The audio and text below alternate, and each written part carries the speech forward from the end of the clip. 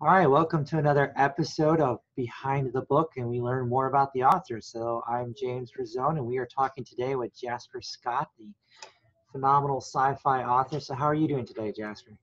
I'm doing great. Thanks, James. Been great to be here. Awesome. So what we like to try and do is learn more about the authors. A lot of people like to interview you guys and talk about your books and your series, which is great, and we will do a little bit about that. But I think what a lot of the readers want to know is your backstory, who you are and how you became an author. So a couple of the questions we want to, I'd like to ask you is, what, where, where did you grow up and what was your first job you held? All right. Well, I grew up in Canada and actually in Calgary, which is Alberta. It's kind of the Midwest, well, a little bit farther west than the Midwest, but it's very cold and, you know, kind of boring landscape except for the mountains. And I grew up there until I was about, I think I was 10 when we moved away. We left to the east side, which is Ontario. And then we went from there a couple of years later to the far west side in British Columbia wow. and spent my time all over Canada until I was 19. And then I left for Panama with my parents and my brother and our dog, and we drove down from Canada to Panama. Wow. So as far as you can get in a car, that's how far we went. Because then that you get to the canal and you and you're done. Yeah, that was an experience. 23 days in a in a minivan, driving pretty much nonstop every day. And so what was it like driving through through all of essentially all of Mexico and all of Mexico, all of Central America? Like? Well, I mean, it was a different experience for every every different country, but Mexico was just one experience anyway. Was it was just a lot longer the trip through Mexico than what it looked like it should be on a map. Because when you're going through the U.S., you've got these great highways, and it takes yeah. you like three days to get from the northern end to the southern tip, yep. and that's what it took us basically. Unless you're going down the the coast, we just went straight to the border with Mexico, and it took us three days. Nice. And uh, then after Mexico that, Mexico. WTF, man? What happened here? What's that? Yeah, Mexico took us a week. You know, actually eight days to get through. Wow. Yeah. What, kind, what, was the roads like? Is it just? Oh my goodness. Well, just no shoulder. People, you know, driving at speeds, and you know, the rain is something else because we were driving down at, at such a time that it was actually pretty rainy in Mexico, and it it would just pour like it would rain so hard you couldn't even see on you know through your windshield and it didn't matter how fast your window wipers were going it just forget about it pull over wow. you know and so we did several times we just pulled over and waited for the rain to pass because it was just so hard you couldn't see and yeah, no shoulder on the road, so very dangerous too. What was the rest of Central America like getting getting down through there? Well, first I'll just touch a little bit more on Mexico. There were some really great parts in spite of you know being dangerous and crazy. Uh, the one thing I didn't like, lots of dogs and you know stray dogs on the roads all over the place. Like never seen more stray dogs in my life, and sad, really sad looking ones. Like yeah. any other country in Central America was better than Mexico for that. But anyway, the good part was when we were going down, we actually went, instead of going through Mexico City because of all the rain, we were advised to go down the coast. It would be drier.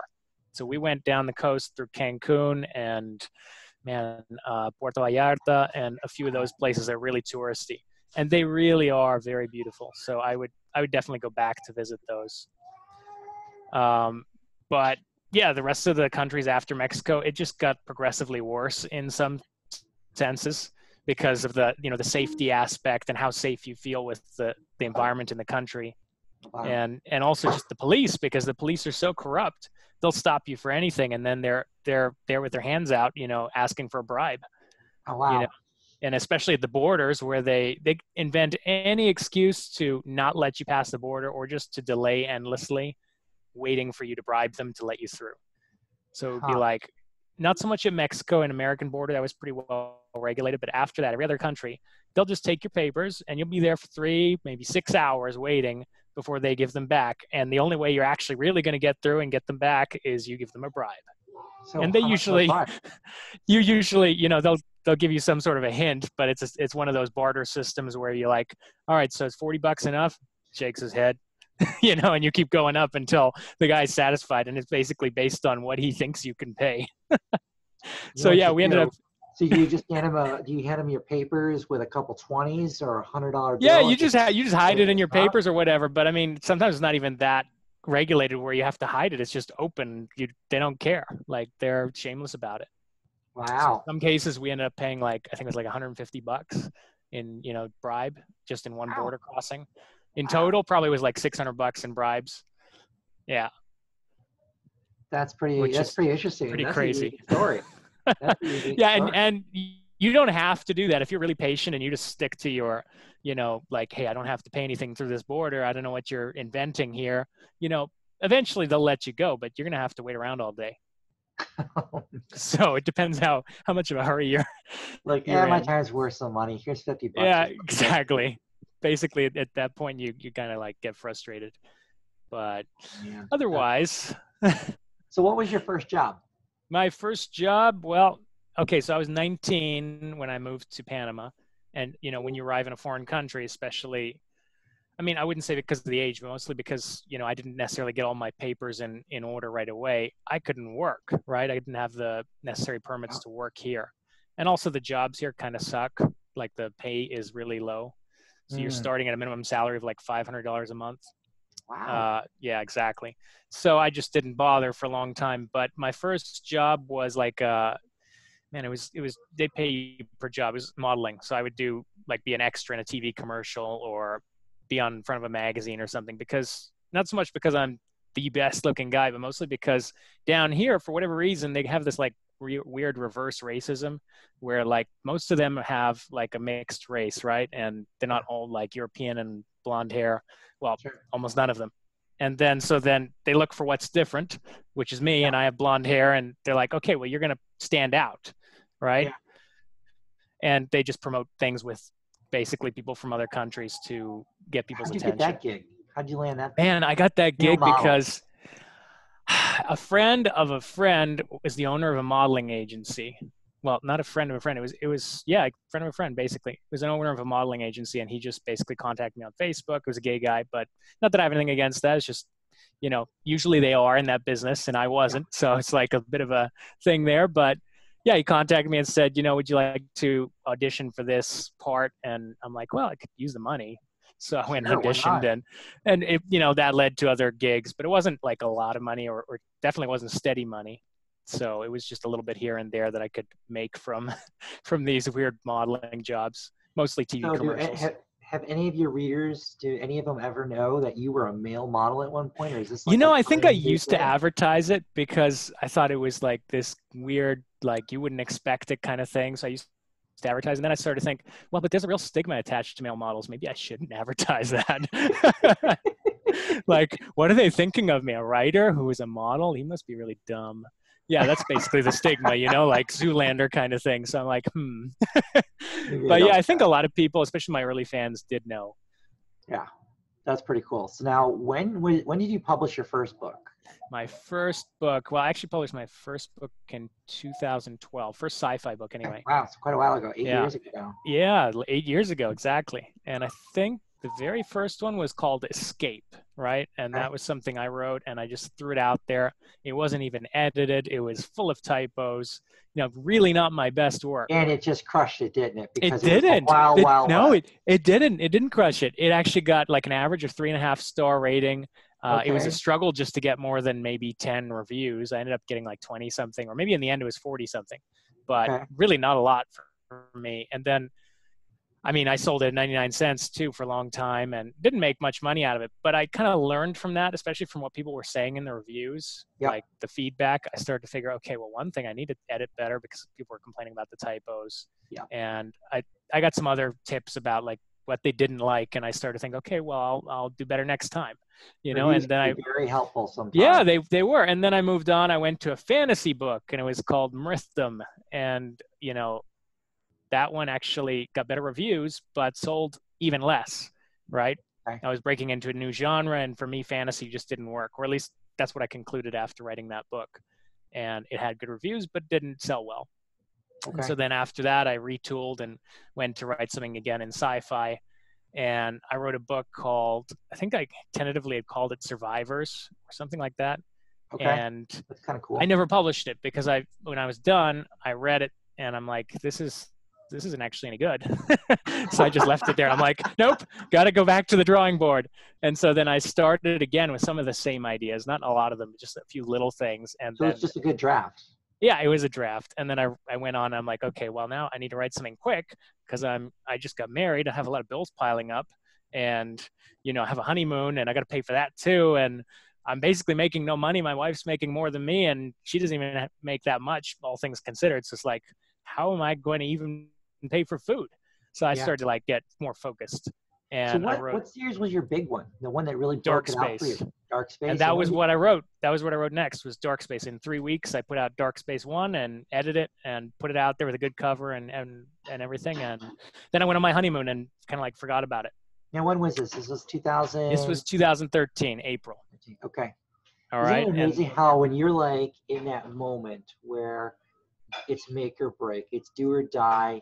Yeah. sat down, and that was the time you cranked out the book that just did it for you. Yeah, I mean, for me, that was like, I wouldn't call it coincidence, but I mean, for the, me, that was the turning point, and it was like, wow, so that really took off, and it was kind of funny how it happened too, because I was on my honeymoon, I wasn't even paying attention, and then I come back and I look at my sales reports, and I'm like, what the heck? I'm making thousand dollars. I mean, a thousand pounds actually it was in the last month. I made a thousand pounds, so it did really well in the UK, and I'm like, wow. In the US, I think it made me like four or five hundred bucks, right? Wow. And I'm like, well, this is starting to be a salary. At least in Panama, that's a good salary. So yeah. I was like, okay, I can live on this. Add it to my wife's salary, we're good, you know. Yeah.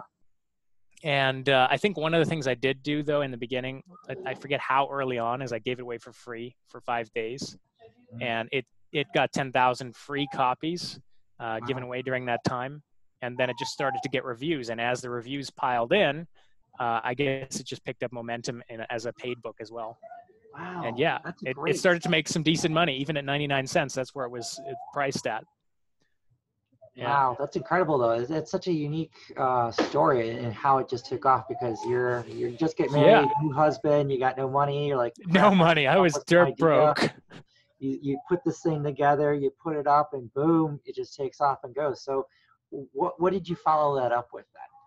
Okay, well, obviously at that point, I'm like, well, this, is doing well. I better write the sequel. So I wrote the sequel as fast as I could. I think I did in two months. And I was, I was under the gun still. So I was getting up at like 4 a.m. every morning to write, yeah. which I'm too, I'm too much of a, a pansy to do that now. But, but I, I used to be pretty, you know, good about getting up early and all that. So then I'd be up at 4 a.m. writing and I'd just write, write, write, write. And in two months I had the book done. And that was the second book, the sequel to Dark Space. And when I put that one out there, I put it out, I think at 199. I wanted to go up really slowly and just encourage people to buy as cheaply as they could so I could get my name out there. Gotcha. And so then that one, when it came out, I start I noticed that collectively I was selling 900 copies a day. Wow. You know, between the first two books, and I'm like, wow, that's a lot. You know, and it was and it was a lot of money actually between just those two books. I think my first paycheck after that was, I think it was fifteen thousand dollars. Dang. Yeah, and that was that was in September or thereabouts of 2013. So and then like, after, wow, we're buying a house, babe. We're, we're well, we're almost. I mean, actually, we I had this really old beater of a car. It was a an old Mercedes that was older than me, like uh, turbo diesel 300D, I think it was. It really old car, right? And it was it was okay, but it was starting to to act up on me and break down every five minutes.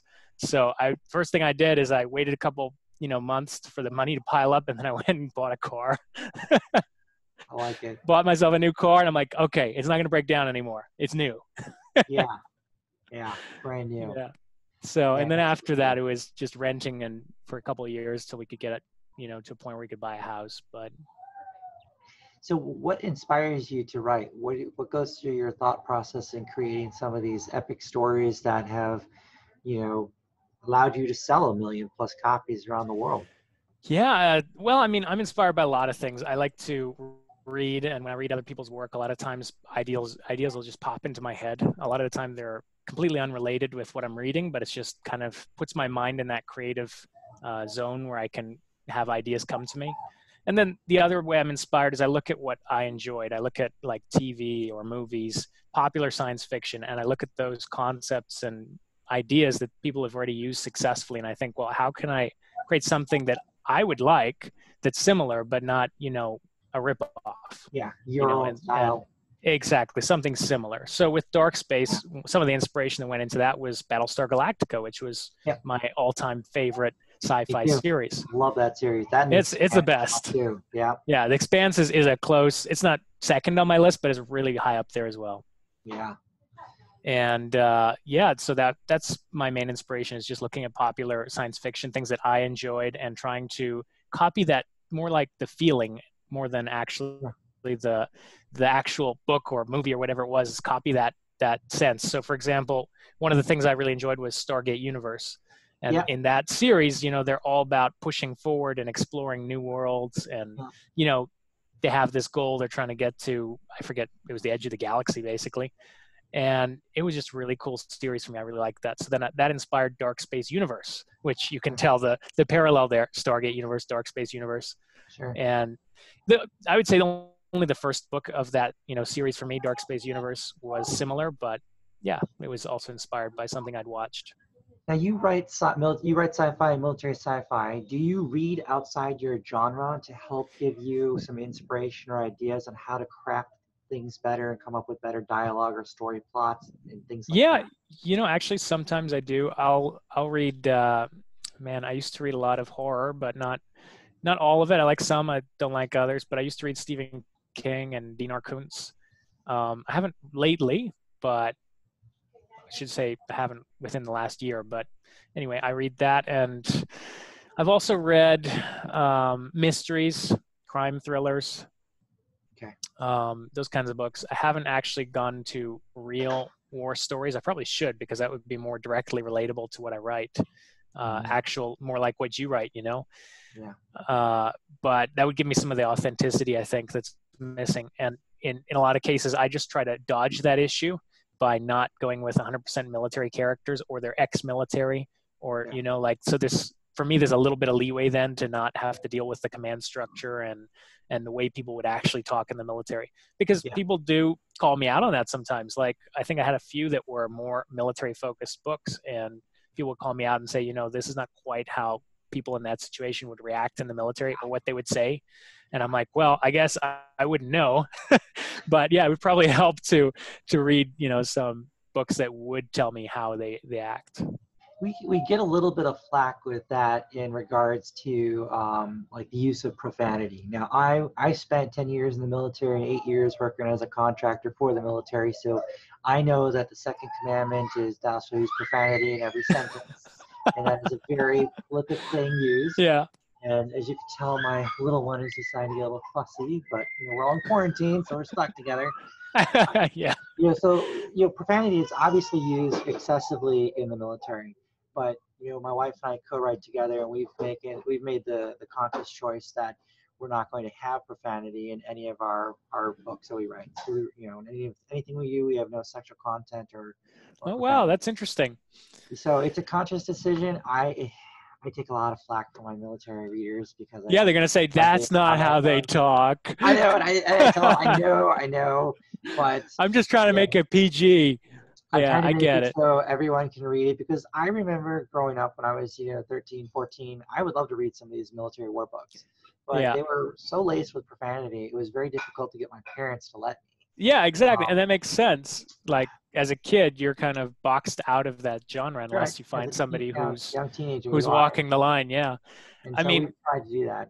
and it, and it's a little bit i guess different because you're not really writing ya you're not writing young adult you're No. just avoiding the profanity and, and other content Well, so it's just sometimes you, you can convey it in other ways sometimes. And Yeah. now, for my purposes, because of the way my brain thinks, sometimes I will usually write and just have it profanity laced. But then when it goes to my wife, who adds in her parts of the book, uh, she edits that language out and puts Right. in something else. But I do it so that way I can convey what it should say. yeah right i get you well you know i've you don't been i've been very you figure out a replacement. I don't know. I've been very controversial on that score, I think, because I started out with Dark Space. Was very popular, my most popular series, and sold the most of, of anything I've written. And that was laced with profanity, but it wasn't profanity the way we know. It was profanity like in Battlestar Galactica, where you can Oh, kind yeah. of guess what the word should be, but it's not the actual word. Yeah, you know, it's, it's all that too. euphemisms, you know? Yeah.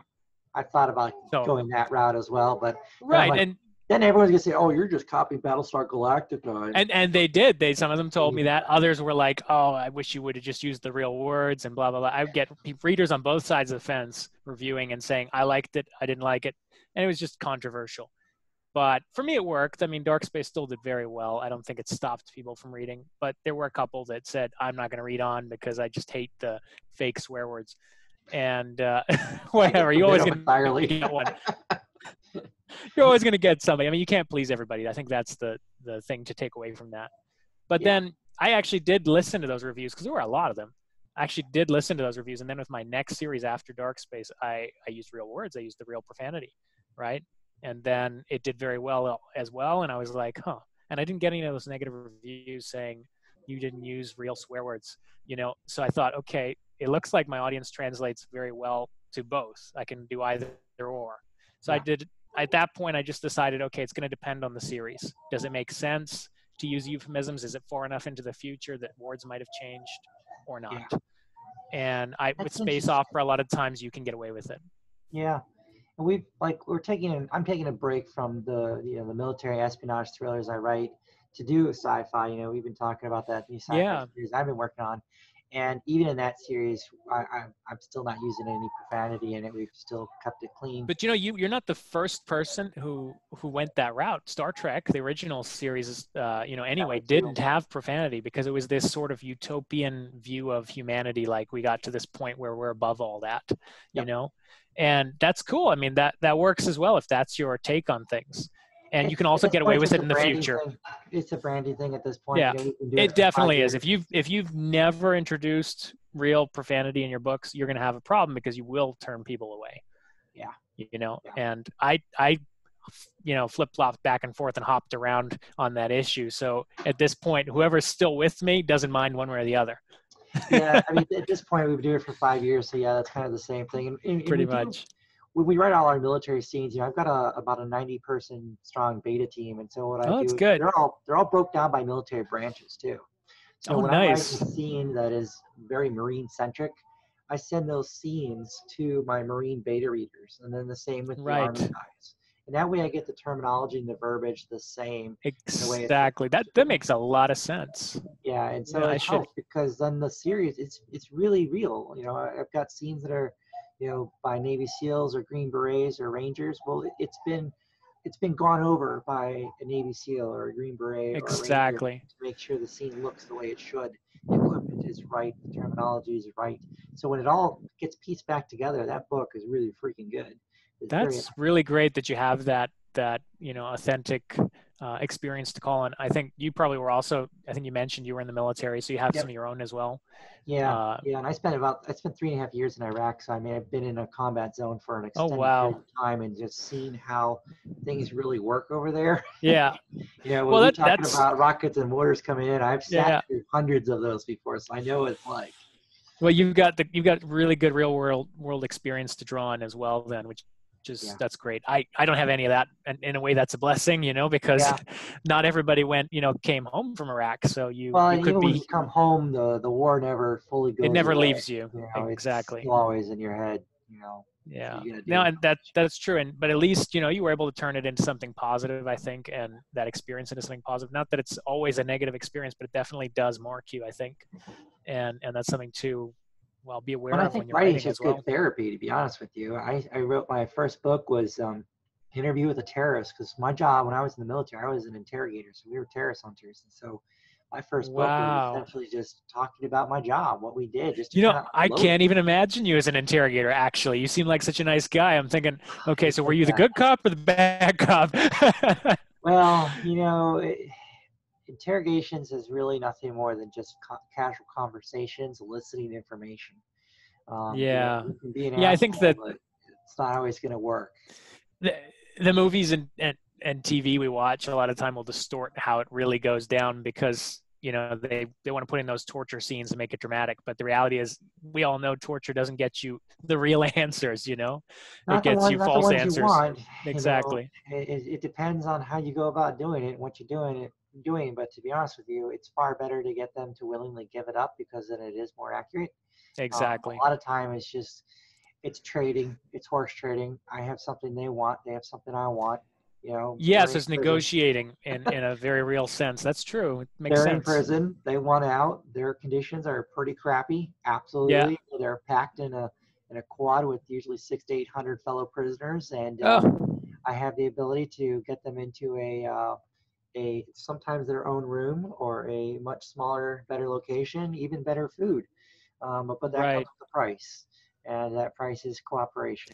well, that that's pretty similar, I think, to the you know setup with police negotiating with with criminals and giving them lighter sentencing and that kind of thing, concessions. concessions. Yeah. So if you could learn how to do that, you know, then you could usually be pretty successful. Part of the challenge was, you know, everyone when I when I was working with my fellow interrogators, a lot of the guys, you know, they're all type A personalities and they're all after the where's the weapon cache? I want the sexy weapon cache. I want to know who this guy is. I want you to confess to everything you did. And I just didn't care about any of that stuff. I was like, all right, you're obviously caught. You're here. You can't do anything about that. So you know what? Let's talk about your village. I don't want to talk about you. I want I want you to tell me what's going on in your village. Do you guys have power? Do you have food? Do you have water? What's if not why?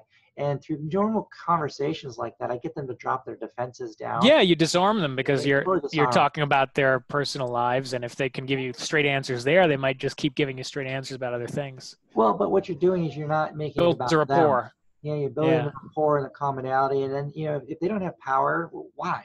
They say, well, this terrorist organization or these groups of people are blowing up the, the, the transformers or they're cutting the lines. Well, that's Yeah. really freaking important to know because we can't win an insurgency if the village isn't getting adequate power or water supply to it because another group of insurgents are interrupting that. So he Exactly. may have nothing to do with them, but he'll narc on them. He'll tell me all about them. Yeah, Well, exactly. That's great. That's what I want because then I can send the team out to go arrest him or go, you know, go capture or kill him, and problem solved. Now, did I get him to confess? Hell no. But did I get him to narc on another terrorist group or an organization? Absolutely. Still valuable intel. Still valuable intel. So it's just Yeah. figuring out how do you work around the problem, how do you work around the situation to, to meet your end objective, which is, you know, rooting out these people from this particular village, region, or area. Exactly. That's very interesting. Well, I'm sure that yeah. inspired a lot of a lot of work. Like you said, I think you said it inspired your first book, Negotiating First with a. Terrorist. Yeah. inter- Well, originally we titled it Dinner with the Terrorist because I would usually do about half my interrogations over dinner. Go we would walk figure. in- yeah, go figure. Because in, Arabic culture, when you sit down to break bread with someone, you guys can't be enemies at that point. Interesting. What we would do is we would come in, we would sit down, we would first have a, we would smoke a cigarette, we would have uh, some tea, and then we would have a dinner, and then we would smoke a hookah pipe afterwards. right. And we, throughout this entire process, I would be eliciting information and questioning and asking and talking about this and just casually. And I got my uh, analyst sitting behind me. He's just taking copious notes of everything the guy says. I just yeah. keep, I just keep probing and asking questions while we're eating and, and keep going. And before you know it, we've milked this guy dry over two hours, and he didn't even realize what had happened. But he got. He didn't even realize was going on. That's pretty interesting. So it worked great, you know. So well, we published that with a, um, publishing house that was kind of a shyster in a way. We didn't Oh, know my. It was 2008, you know.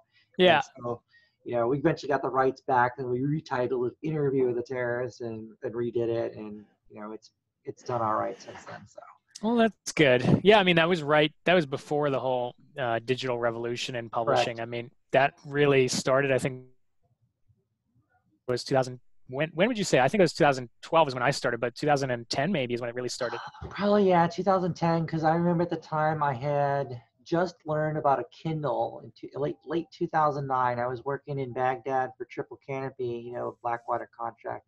So I was Right. working there with them, and some of the guys there told me about this electronic device called a Kindle, and you could Yeah. download all kinds of books on, and they would sit and read books while they're sitting waiting on missions or whatever.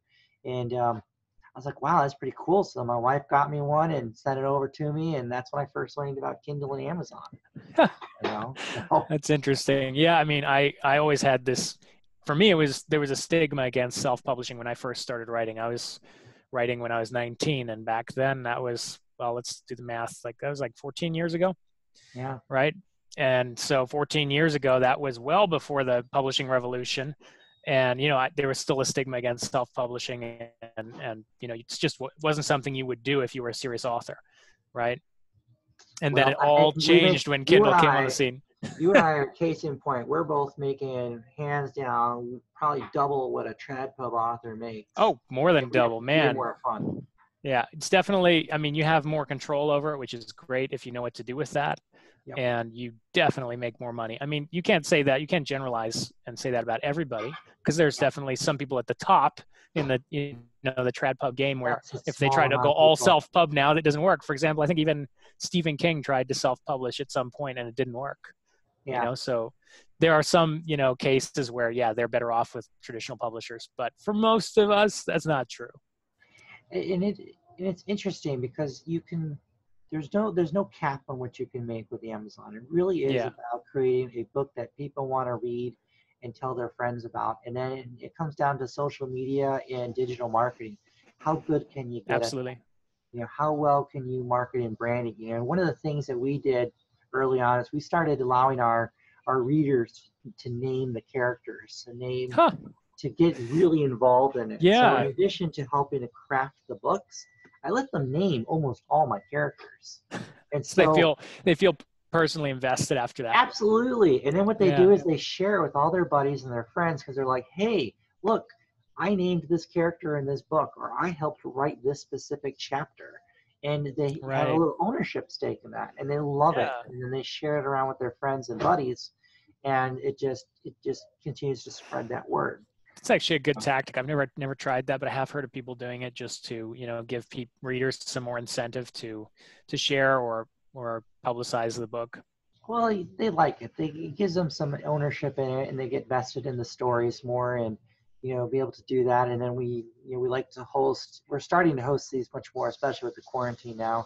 Is we're going to start hosting these uh, uh, weekly uh, Q and A's with the author, or I'm just going to set up a Zoom call like this and just let everyone jump on. I can hold 100 people on here, Right. and uh, just ask questions and you know talk about the series talk about the characters what what do you think about this scene how'd you like that and then go over all that stuff and let them ask questions because they have questions they like to ask the author how'd you come up with this kind of stuff you know Right. Yeah. I mean, it, it's kind of a mystery to a lot of people, I guess. Yeah and facebook live is is okay and i've used it in the past and i probably will still use it in the future but i like the ability to have the backgrounds and we can Yeah. I mean, if I had Well, mine set up, yeah, takes a bit of preparation to get it working like yours, but it's really cool. and also being able to record it because we can record it and we can upload them to, to YouTube to be able to share them much easier. Whereas if it's on Facebook Live, They try to lock it that- down. Yeah, I can't move that to YouTube, and I've, I'm Interesting. limited in what I can use it for and do. So yeah. No, that's not as good then. Great. Yeah, so it's kind of neat. So, what are some Yeah, other things that your readers don't know about you that they might really find interesting? Well, let's see. I mean, besides the fact that I live in Central America, which we discussed, um, you drove from Canada all the way down to drove from Canada all the way to Panama. I didn't do it though. It wasn't me driving at the wheel. It was actually my dad. I was just in the middle seat of the minivan, kind of cringing every time we had a near call, close call with a truck or something. But yeah, uh, it was still and Don't worry about it. pretty much, I was just nope, don't look. but uh, other things people don't know, man. I I don't What's your know. Favorite mean- food down there in Panama? What do you like? Favorite food? Okay, well, there's one thing. In Canada, you know, we don't have a, really a, a national or cultural uh, type of food. It's, and I think in the U.S. it's somewhat similar. Like you have a few things, but nothing really Yeah, identifiable we as. stole food from everyone and just call it our own. Right. It's a, it's a melting, mixing pot of different cultures and different foods, and so you have all the different restaurants from different ethnic uh, types of food. But down here, everybody does have a style of you know what they eat.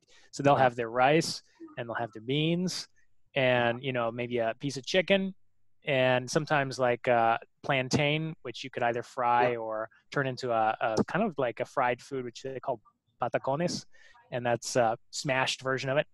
Uh, but yeah, that's the food down here, and it's almost always like that. Like that's your lunch. Doesn't really vary much, and they don't have a lot of the the junk food that we're used to. Like Yeah. and definitely don't have the same proportions of types of food. For example, meat might be like a small part of the meal, whereas in Yeah. North America you might find it's actually maybe the primary part or half of the meal. You Yeah. know, it, it could be a big chunk of steak and then just some potatoes on the side. they don't really do that here. I mean, that's that's uncommon. Mm, So mostly it's the rice and the beans. That's a staple, and you have a little bit of meat to go with that.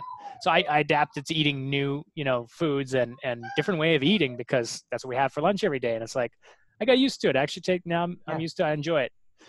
But uh, that was something. What are some of the things you like to do down in Panama for fun? Oh man, I mean Panama. It's a small country, so a lot of the time for fun we'll travel. That's something I can't do right now, but that's something we, we usually do. And then in the country itself, we'll go we'll go watch movies because movies are cheaper than you know in North America. So a movie Sure. ticket will cost us like I think now they're a lot more expensive than they used to be, but it's like six dollars for an adult at most, and it Okay. could be four bucks for a kid. And that's really cheap compared to at least compared to Canada, where it could be as much as fifteen dollars for an adult Yeah. uh, Canadian dollars anyway. Yeah. And then besides movies, we'll go to shopping malls. It's kind of like a Panamanian thing. You you all go to the shopping mall. You go out on a Sunday or a Saturday. You'll go to the mall, and, and then maybe you'll watch a movie. You know, or you'll eat out and you'll watch a movie. So that's something we do a lot. And we'll go for walks. And there's like a, a place we can do that, but we have to go in the afternoons. It's not too hot. There's a like a boardwalk, I guess you would call it, along the water. And it's a pretty cool place to do that. Go for a walk at night. How do you like the uh, the the various beaches that you guys have there and some of the other things there? Well, I mean, I wish they had more really nice swimmable beaches close to the city where I live. Um, they're actually probably the best beaches are an hour to two hours away. So Okay. you got to drive pretty good distance before you get to a decent beach. And my parents actually have a, a house close to a beach, which is swimmable. The sand is not all white, but it doesn't matter to me.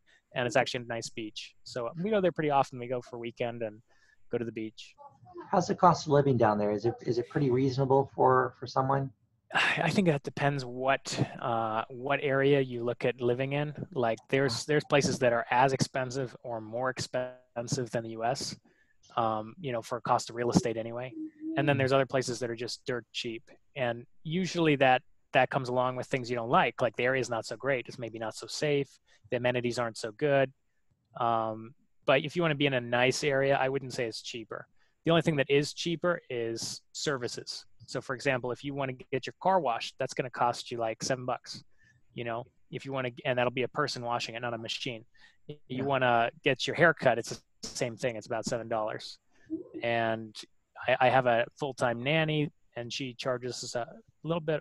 Well, all told, it's about six hundred dollars a month that we pay, but that's Right. between insurance and, various things. And uh, yeah, some things are a lot cheaper. Like I couldn't imagine having a full-time nanny who helps to, you know, keep the house clean and organized. In Canada, it's not possible. You'd have to be a multimillionaire. And the same thing for the U.S. for the most part. Like you have to have a lot of money to be able to afford that. Yeah. And it's like it's just not an option, you know. yeah. But so there's some definitely some differences in, in lifestyle here. Uh, that's that's probably one of the biggest ones I could point to is anybody who has a reasonable quality of life here will have a live-in uh, probably for either the childcare reasons or to keep their house clean. That's that And- lives with you or just comes every day. It could be either. It's up to the person who's paying, you know. But in, in most cases, it's somebody who lives with you. And there's actually the houses come with a special room and bathroom just for that person, you know, an extra room and bathroom. Ah, so we, we call it a servant's quarters or or maid's quarter it's basically yeah it's it's pretty interesting so yeah, that's my just wife. because yeah sorry what you're, you're saying Let's say my, my wife and I are looking at in a couple of years here as our kids get a little well, we may up starting this sooner actually, uh, homeschooling our kids. Um, because as you know, as an author, you just need internet and a laptop. Yeah, You can live anywhere. exactly And so we we kind of like the idea of help letting our kids be, you know, digital nomads and taking them to live in an Airbnb for two months in different countries in different and regions. and that's one of the major advantages of doing that and that that speaks to another thing that not everybody probably knows about me i was actually homeschooled As was grade I. three. Oh, were you okay kindergarten through through twelve. Yeah. i'm guessing in your case you come from a military family and that's why no, actually, I No. wasn't. I wasn't. My you parents- weren't okay It was that my parents just decided they wanted to homeschool us, and so they homeschooled us. And wow you know, I I still went on to go to college. I I actually went on to a graduate uh, degree program at the University of Oxford. So I mean, wow homeschooled did not uh, hinder me. limit you that, well yeah. uh, my experience was pretty similar. I mean, I was homeschooled from grade three to 12, and it was really the same curriculum as what the public schools in Canada used. is. Yeah. It was same really the same. and I had to have externally graded tests and, and exams and everything, and even provincial exams. And I just I did very well, but I had no point of reference like how well I was actually doing until I graduated, and then had to take. Uh, well, down in Panama, they have a few U.S. campuses. So when I Mhm. went to university, I went to one of those because it was English. And in order to get in, I had to take the SATs, and then I took the SATs, and I'm like, huh. So based on that score, I'm actually pretty smart. like I just didn't know growing up. I had nobody to compare to, so I'm like, yeah, I get A's most most of the times, some B's. I just had no you know idea or concept of was I at the top of the class or not. And Yeah. you know, taking the SATs finally gave me that kind of perspective, and I'm like, huh, okay, that's that's nice. but I didn't really go to a great university though, because down here not a, a lot of options. So it was Louisville, which is kind of middle of the pack, I think It's satellite campus of Louisville. It's not bad. It's not like Ivy League or something, but not like Well, I could have end of the afforded day, that. Yeah, at the end of the day, you just need a, you know, the degree is a degree. Yeah. Just a, it's at this point, it's just a checkbox. It's not Well, as relevant. I mean, used to be, you know. And and speaking to that, I didn't even finish the degree. I was studying business, and I did I think a year and a half, and that was it. And I I quit to write full time. And there were a couple of other reasons for that. It wasn't just so that I could write full time, but basically, it ended up not being something I needed. I guess in my current career, it's not like you need a degree. It's more like Yeah. what do you learn along the way, and do you have the, you know, what it takes to to manage all those elements.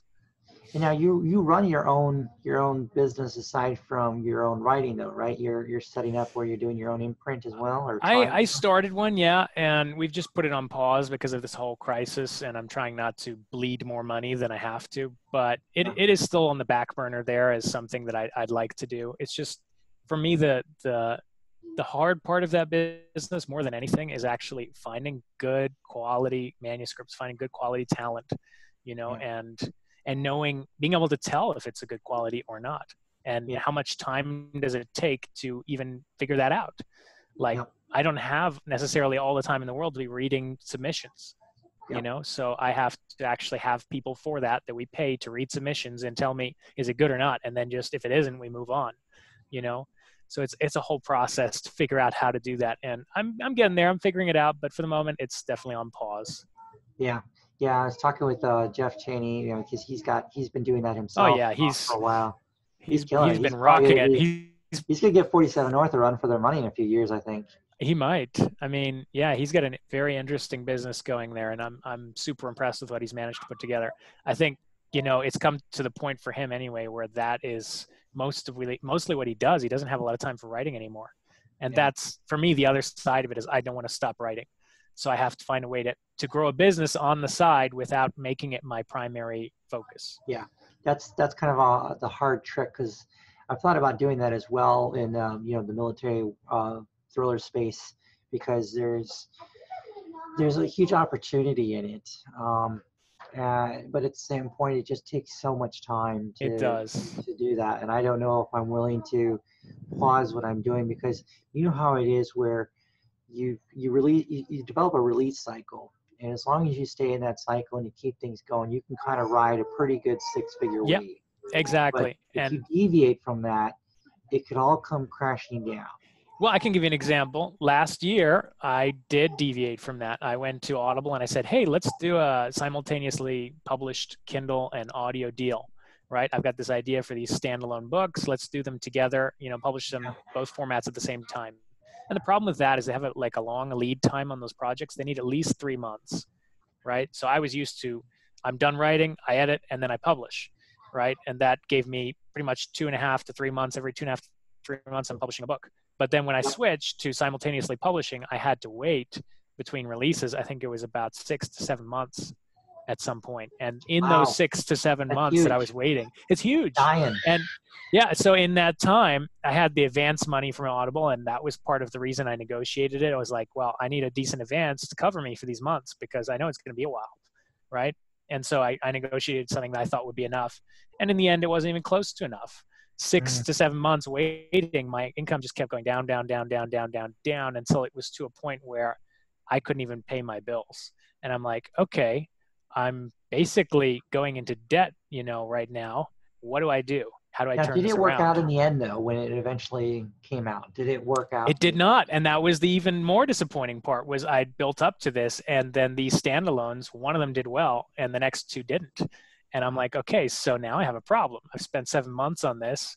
You know, I've delayed my release schedule. My income's gone way down, and they didn't deliver. In the end, these books didn't make the money I was expecting them to, and Yeah. they were really, you know, slow performers for for me what I'm used to. And I'm like, okay, so something has to, I have to shake this up somehow. So I thought, okay, well, what I need is to reverse what I just did.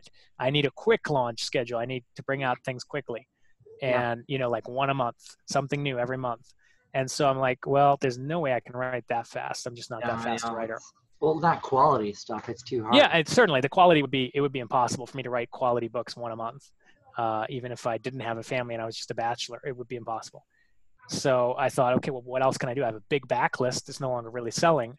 So then I, I just noticed, you know, my colleague Nathan Hystad was, you know, telling me how he published this box set of his series and it was making really good money. I'm like, how's that possible? It's 99 cents. You make nothing on that, you know? And he explained to me, no, it's because of the Kindle Unlimited readers. You get a lot of reads and it's a long set. It's a long book. You get a lot of pages in there. So people just keep reading pages, pages, pages, pages. It adds up. And I. I did the math and I'm like, wait a minute, there's actually something to this. It's a loss leader in a, in a way, but you do make good money out of it if, if it works. So Now, then I'm like, okay, cannibalizing that hurt the series though? well, okay. So here's the thing. If I, if I, I mean, I did the math. I looked at it on my back backlist. How much does my backlist make collectively? And can I revive it without bundling? And the answer was no, not really. I could revive a little bit, like little, you know, jumps here and there, and it would make me a little bit extra money, but nothing major. And the box sets was like this, you know, this completely different market of readers that are voracious and they just want a whole series all in one grab and they're really cheap. They don't want to pay more than 99 cents. And I'm like, so how do I access this market? Well, I'll just copy what I see other people are doing and release a bunch of box sets, do my whole backlist. And I did that and I booked all the promos I could for these these box sets. And it was completely counterintuitive for me, something I was a little reluctant about, obviously, because of the price. It's like you're discounting your work so much. Yeah. Uh, but in the end, it just made sense to me from the perspective that, well, this is kind of the trend in, in the world right now with entertainment is people want a subscription service, they want to pay a certain amount per month and then just binge. Yeah. Right. And so that's what Kindle Unlimited is. It's the Netflix of books Yeah. and i'm just like well okay so i can i can i can just ignore and sort of overlook the people that are buying it and giving me nothing in order to access that group that they're reading through subscription program and i'm getting a piece of that pie right? Yeah. and in the end it worked out so well that i was able to recover all my losses and make massive profits and i'm still to this day making those massive profits because of those box sets. Uh, I think it basically worked out that collectively, it was about ninety thousand dollars that they made in the last five months, maybe a little more. Yeah, really, really decent. It pulled me back from that, you know, cliff of that brink of like, okay, I can't pay my bills at this point. What do I do? And then I just kept on my, you know, usual release schedule. And I said to Audible, well, look, we didn't have, you know, fixed dates in our contract. That was something I'd negotiated. We don't have a, an exact schedule to release these books. So right now they're sometime in 2020. It's scheduled for the future. Didn't give them a day. And you know, the last three of that contract. So I still have three standalone books that I have to write for them. But it's gonna be, you know, from from now on, it's gonna be my side gig. So I'm gonna be taking a couple hours each day to write those books and Yeah. kind of get them done this year, but not in any particular hurry. Yeah. Because I gotta keep something on the front that's, you know, coming out every two to three months. I was going to ask you because it took you like six to nine months for those other books to come out. Where did you start work on other projects in the meantime? yeah and and so i did and i wrote another book and uh you know that sort of helped me because at some point when i decided okay this isn't going to work i switched back i was able to get the book out faster so it was only a one month gap between my last simultaneously published uh, uh, book standalone book and the next one so the next one was first encounter and it just happened to do really really well yeah. and i'm like okay so you know now i can i can recover Guy. I'm using look to see he's the same um, uh, cover artist. Uh, Yeah, he's really good. He's He's really good. Uh, he's a bit expensive uh, nowadays because he has so many people asking for him, but I mean, he's worth it. I pay about a thousand dollars a cover. Yeah. Uh, you can probably get it for less, depending on what the complexity of the scene is. Yeah, yeah, and, it's it's worth it though because if you have the right cover, you have the right ad description for it, Mhm. the book and the series will take off. And if you Absolutely. have the wrong one, No, you're done. You're dead in You're the done, water.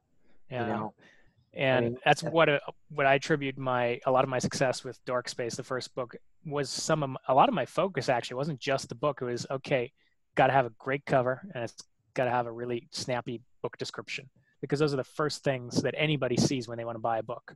They don't know if the book's any good. That's what makes them decide to buy. Yep. Yep.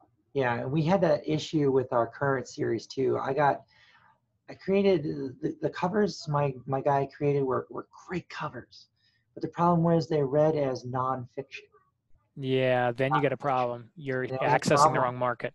and it was, it was a problem. And I, I I thought they looked great, so I ran with it, and that hurt me for the first three months that the series was rolling.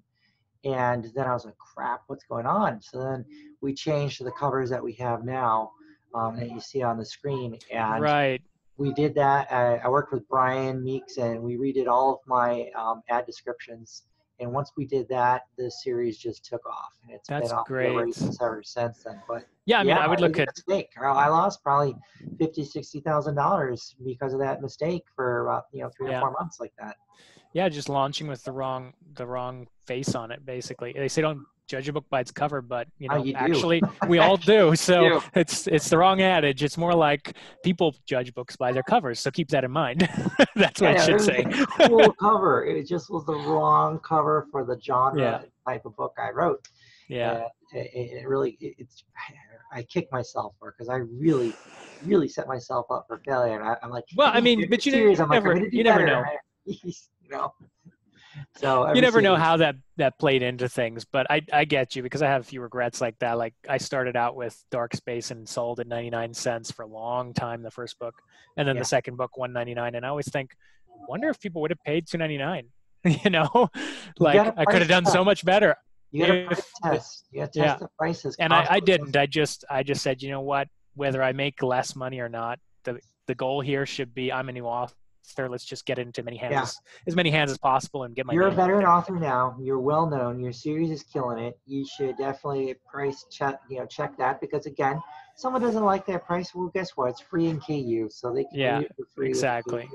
Yeah, and, and I mean that it just depends because I did a price test recently with box sets, and I'm like, well, you know what? Maybe that's correct. Maybe I should raise the prices. So I bump them up to 2.99, and I just Good see work. immediately, immediately drops off a cliff in sales, and I and the rankings start going down, and I'm like, okay Even then. with KU.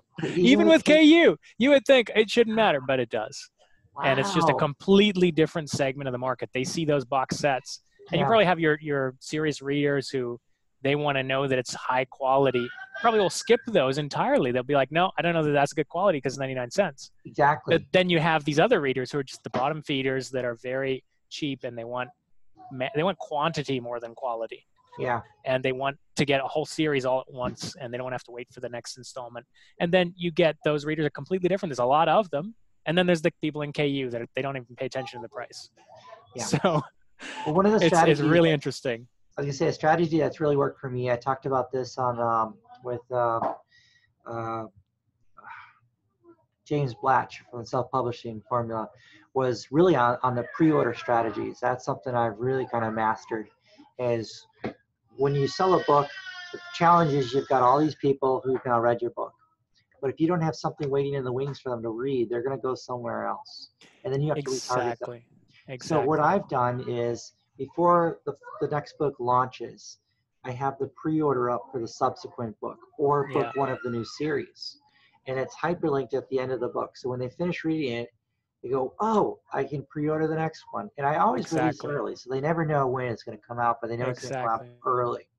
And that's allowed me to capture thousands of pre-orders by doing that. And those are people I don't have to pay to retarget and try to find again. And so day one You know, it- it- it makes- 3,000 pre-orders. Exactly. It makes good sense. I've been trying to do that a little bit better lately. Um, but I, I still botched it. My last book, I put out Occupied Earth, and I didn't have the pre-order for the next one up yet, and the links in the back weren't the right But ones. delay the launch. You know, if you don't have a pre-order for I launch, mean, delay the launch until you can. I, there's two different schools of thought on it, and I think that's where I, I get kind of caught up and not sure what to do, and then I just don't do either. And what happens is I sit on the fence and I'm like, I don't know what to pick. Uh, maybe I'll pick nothing, you know. but it there's another school of thought which says, well, don't do the pre-orders because Amazon will let people know when the new book comes out, and you'll Ah, just get a bigger trust that. boost. Never trust You know, that. but uh, it's like you say, and I think you're right. People's attention spans are just not long enough. So Well, if you think about if it. you have to retarget them or, or recapture them later, you won't. You'll you'll you'll get a subset. Well, and you get an email from Amazon almost daily. How many times do Yeah. you honestly open that email? Oh man, I rarely. so Exactly. So that Exactly. email's got your new release in it, and yeah, that's the attitude. So at least if you got the pre-order, you're hoping to capture some of it. Yeah. Now, oh man, now that Amazon made the pre-orders out to one year, no, it you can you can put a whole series so up in pre-order. exactly. It's been Yeah. great because um, before, man, that 90 days, man, that really sucked. You were Yeah, really it wasn't it wasn't enough. Really tight. Yeah, it was Yeah, really and not tough. everybody could not everybody could write a book in three months. So that Well, that was an issue. is we would re- usually write three books before we started releasing book one. So when book one was released, book two was already up for hyperlink for pre-order, but we were Right. already book three was already in editing, book four was already being written. So we were always You always had a fast ahead. release cycle.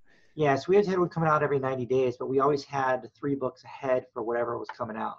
So like Well, right that's now, that's a good place to be in for sure. Yeah, and like right uh, now we've got book books five is up for pre-order. It's the last book in the series, um, but I'm already on book three of the new sci-fi series. So book five's not out, but I've already got the next three kind of lined up. So when Yeah. that comes out, book one of the new series is going to be hyperlinked at the end to start the new Well, series. that's really great because actually also means that you've got, uh, if anything happens, for example, and you can't write for a while, you've already got your next six months of income figured out. You know, Right. at least maybe more it just needs to go through editing, and it's already taken care of in the covers. Yeah, Exactly. So you're in a position where you're you're ahead of your income cycle. You know, more more so than the average. I would I would say. It's just it's a lot of work. It's a grind, but you know I look at it that this isn't like any other tech startup. It's just a lot of hours, a lot of time. But if you can grind for, you know, a handful of years to do it, you can really set up, set yourself up, and build a really good business Exactly. um, to set your family up. Because you know I'm not going to do this forever. I'm going to write for right. I mean, at some point, everybody retires. Yeah. Exactly. Yeah. Especially with the fast release cycle where you're constantly writing something new. Like Well, I think most like, writers. once every six months is what I'd like. yeah most writers that would be our, our ideal you know we could write one book every six months you know one to two books a year that would be like oh yeah and we're on a beach somewhere the rest of the time but that's you know that's when you're retired and you're thinking well the income's not as important as the quality of life and, and Yeah. you know I'll have to those wait and see golden years if 47 North uh, picks up the series, then I'll I'll be on probably the six month cycle because I think that's what they do. yeah um, yeah they do So that'll be fine with me, but we'll wait and see what happens with that, how that shakes out. If not, I'll Yeah. be doing it on my own like I normally do. So I'm fine with that too. So yeah we'll have to see what happens but well, I've got little munchkin starting to melt down, so it's I can hear that, yeah. To go help my wife and uh, handle that. Whereas you know All we're all in quarantine, and guess Yeah. what? I live in Florida. It's, eight, it's 93 degrees out. I can't take my kids to the beach. I can't go to the YMCA. I can't go to a freaking playground. wow can you even go outside can you walk around your neighborhood Yes, you can walk outside your neighborhood. Okay. thank God. You're- you're one better than me. Yeah, I'm a little. I'm not, they're not that stringent just yet, but uh, you know, it's getting a little crazy. Well, we're So- we're I'd say our our methods here in Panama are a lot more strict. So I'm I'm we can't even go out the door basically unless it's during two hours of the day that we're allowed to. And actually, they just made it even stricter where now there's only three days of the week that you can go out, and they're different days for men and women. Wow. And you can't you can't go out as a couple or as a family at all. So it's one have person at a time Eats leaves the house. What's I that? mean, you have Uber Eats or some kind of food delivery. Yeah, we can we can order in food, um, and so we can at least do that. I haven't actually been doing it because I did stock up actually even before the quarantine started. I'm like I could see it coming, and I I just stocked up. I even went I had went bought a big chest deep freezer and filled it up with food, but it turned out I, I didn't need to because there wasn't any run on supermarkets here. People didn't have enough money to go and buy three months in advance, and Yeah. so it just turns out everything's still fully stocked.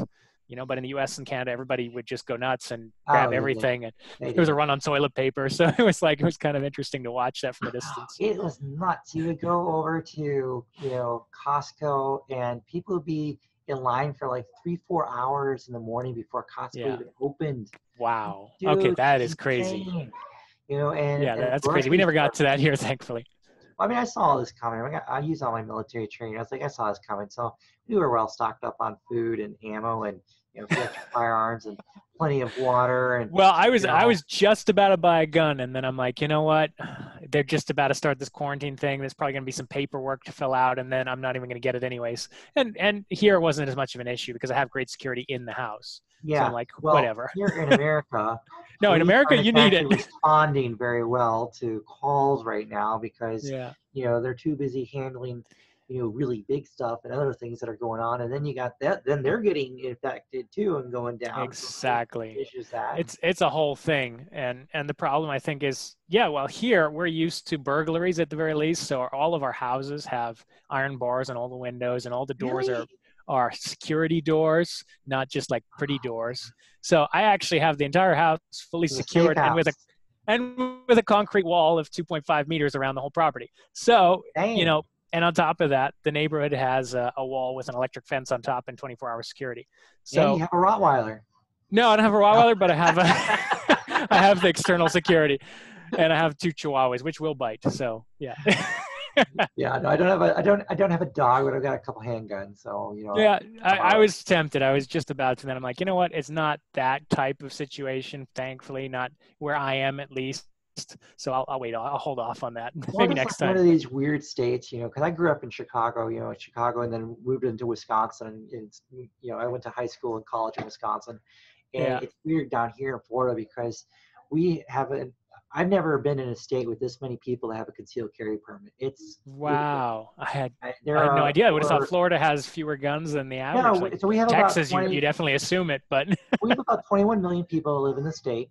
Of that, probably about four to four and a half million have a concealed carry permit. wow. So you just don't know who's packing. You don't know who's packing, but statistically, it's like one. It's almost like it's pretty good. five. Pretty. it's crazy. It's a lot, and because they're largely older people, Yeah. you know, they're largely the ones that are packing. That's You know, crazy. Grandpa. you know.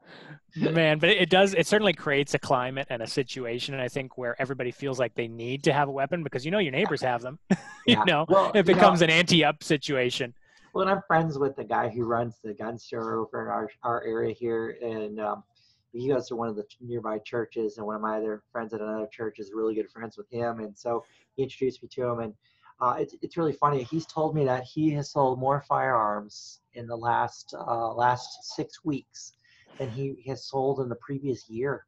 i i believe it He yeah said that I mean he, he was selling out of ammo, and he would have people walk in and they don't know anything about a gun, and they'd be like, "So what gun do you have ammo for?" In he's like, "Well, this 10 millimeter." He's like, "I'll take it."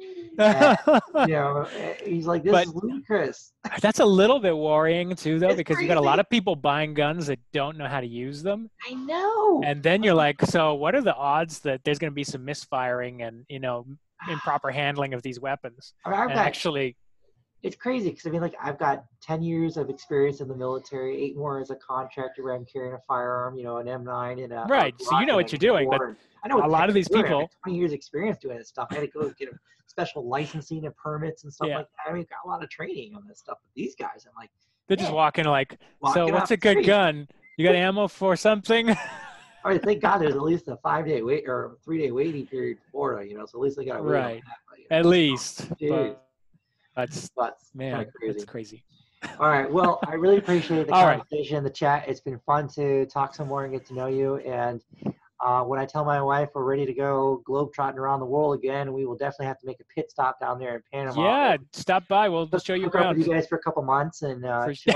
there. You know? for sure we'll get an Airbnb nearby and just hang out. for the day. okay all right yeah Yeah. nice talking to you Wherever we go, I want to put two. I want to spend two months. It's enough time to familiarize. well yeah that, that's a good policy So. yeah Well, it's great talking with you. We'll talk again, and uh, hopefully your readers will have some questions. They can post them in the comments down below, and uh, we'll see where things go. all right been great talking to you james have Uh, a good one later. You too. bye bye